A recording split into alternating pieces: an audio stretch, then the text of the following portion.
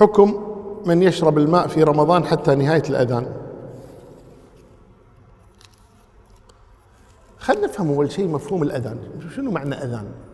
لما يأذن المؤذن ما معنى قولنا أذن المؤذن؟ ما معنى قولنا أذن المؤذن؟ الأذان هو الإعلام بدخول الوقت. الأذان هو الإعلام بدخول الوقت. يعني من يقول الله أكبر يعني شنو؟ دخل الوقت. ولذلك أنت بس تسمع الله أكبر بالفطور ما تنتظر لما يخلص الأذان. تبدأ تأكل. لماذا؟ دخل الوقت. دخل وقت المغرب. كذلك الفجر. من يقول الله أكبر معناها إيش؟ دخل الوقت.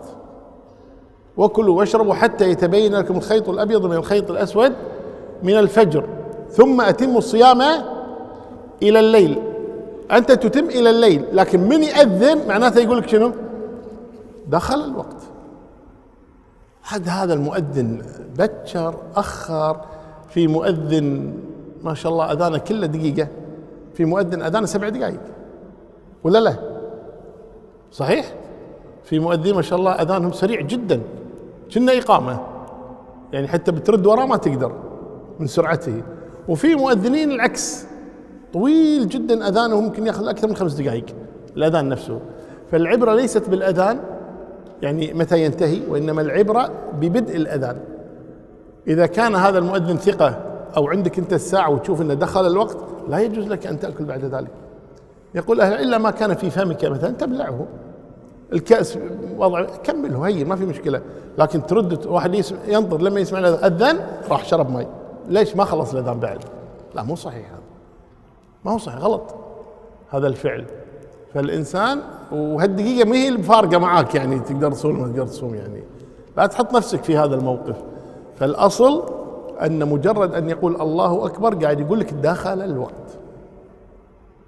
دخل الفجر معناته بدأ الصيام. بس يعني يقول لك الله أكبر بدأ الصيام. فلا تأكل ولا تشرب إذا سمعت الأذان. نعم. ما يعلم بهذا الحكم؟ والله ما أدري. لكن هناك بعض فتاوى سمعت من البعض أنه يقول حتى ينتهي الأذان. بس ما أدري يعني هل يعذر بهذا أو لا يعذر؟ لأن إذا بتأخذ قول كل أحد أبو ذر الغفاري رضي الله عنه كان يرى أنك تاكل تشرب لين تطلع الشمس رضي الله عنه. يقول هذا النهار الحقيقي طلوع طلوع الشمس. فعنده من بعد الفجر هذا مسموح رضي الله عنه اجتهاد منه لكن ما يتابع عليه رضي الله عنه. ف ما أدري والله بس أنا أفضل إنه يعيد صيامه اللي أكل لكن ما أفتي بأنه يبطل صيامه. نعم.